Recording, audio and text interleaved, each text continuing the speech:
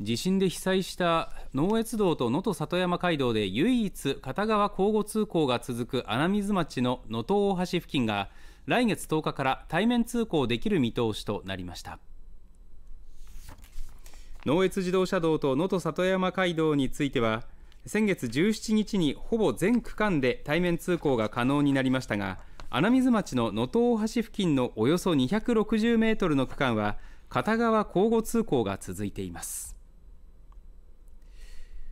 国土交通省金沢河川国道事務所はこの部分についても来月10日の午前10時から対面通行ができるようになると発表しました。